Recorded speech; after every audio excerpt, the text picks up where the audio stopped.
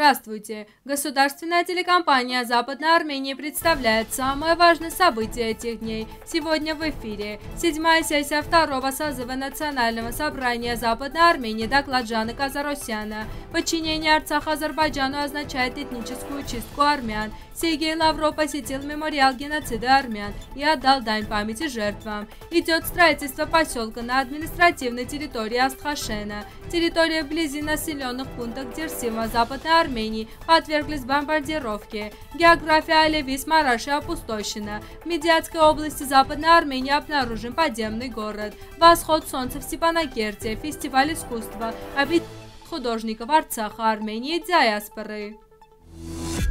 Как мы сообщили в предыдущих выпусках новостей, 28 мая состоялась седьмая сессия Национального собрания Западной Армении. В ходе заседания с докладом выступил депутат Национального собрания Западной Армении, знаменосец Западной Армении, председатель Ассоциации ветеранов и бойцов сопротивления Франции, председатель комиссии ветеранов и инвалидов, патриотических, общественных и общинных организаций Франции Жан Казаросян, ka të rëmon kratë këprit steve svaju biografiju, в частности отметив, что его родители эмигрировали из Западной Армении, спасаясь от геноцида, совершенного против армян. Казаросян родился 7 марта 1938 года. В 1995 году вступил в Ассоциацию армянских ветеранов во Франции, а затем стал ее президентом. Казаросян представил отчет о работе ассоциации в городах Марсель, Антип, Канны и Ницца. Он отметил, что ассоциация пользуется большим уважением со стороны различных официальных лиц,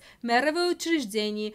Уважаемые соотечественники, в следующем номере мы представим отчет члена Комитета ветеранов, инвалидов, патриотических общественных организаций Врежа Абраамяна в Национальном собрании Западной Армении. Подчинение Арцаха Азербайджану означает этническую чистку армян. Об этом заявил посол Армении в Албании Тигран Макарчан в интервью общественному радио Албании в ходе рабочего визита в Тирану, сообщает Армен Пресс. Представляя арцахскую проблему, посол отметил, что Азербайджан пытается изыскать и представлять ее в другом плане. Арцахский регион существует как таковой, и не азербайджанцы должны вычеркнуть название Арцаха из истории.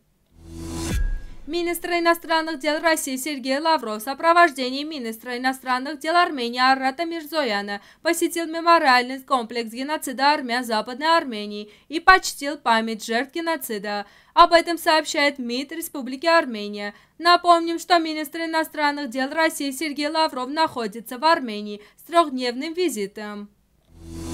На административной территории общины Астхашин Арскеранского района Арцаха активно ведутся строительство работы по возведению нового поселка для семей, перемещенных из общины Мадаташен-Сахнах. Об этом заявил главный специалист Министерства городского развития Арцаха Вазген Григорян. Всего планируется построить 149 особняков. В настоящее время завершено строительство 12 особняков, а 10 ведутся строительные работы, которые будут завершены в ближайшее время. Также ведутся работы по внутренним отделам 16 особняков. В ближайшее время начинается процесс обстановки частных домов, отметил Григорян. В квартале также ведутся работы по созданию подземной и наземной инфраструктур, благоустройству улиц. До конца года будет сдано в эксплуатацию около 100 особняков, сказал Григорян. Согласно информации, дошедшей до нас, военные вертолеты подвергли интенсивной бомбардировке высокогорные районы села Капер, Зохар и Красная Церковь. Военная операция, проводимая в Дерсиве под названием «Эренская Благода-7», все еще продолжается. В докладе отмечается, что территория, на которой произошел взрыв, находится очень близко выше указанным селам. Западная Армения обращает внимание на этот преступный акт, еще раз отмечая агрессивную и бесчеловечную политику турецкого государства. У Шеф-Марашской области Западной Армении гидроэлектростанциям, также тепловым электростанциям, поставили на грани исчезнования животноводства и сельское хозяйство. Такая ситуация вызывает иммиграцию людей, проживающих в регионе. Таким образом, Мараше, политика дегуманизации региона, в ходе было убито 111 человек, сейчас продолжает грабить природу.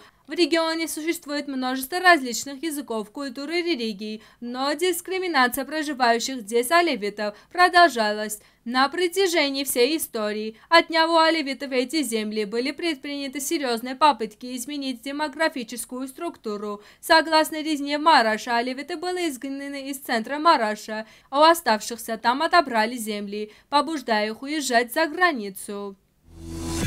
Медиате Мардинской области Западной Армении был обнаружен подземный город, построен во втором и третьем веке нашей эры, где сохранились культурные сооружения, зернохранилища, колодцы и большое количество артефактов. Медиат – это музей по открытым небом со своей историей и культурой, который создает сказочную атмосферу своим тысячелетием каменными домами, церковями и монастырями. В Гаваре два года назад в рамках реставрации исторических улиц и домов была обнаружена пещера, которая оказалась не единственной. Был обнаружен внутренний ход из пещеры в другие жилые районы. Предполагается, что подземный город Медиат был одним из тех жилых районов, где проживало не менее 60 тысяч человек.